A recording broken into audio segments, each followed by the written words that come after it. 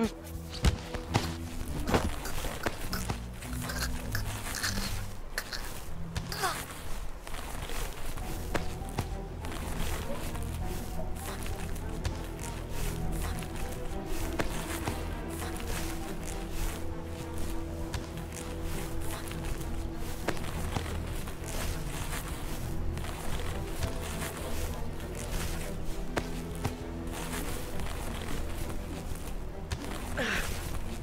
Is that a gun in your pocket?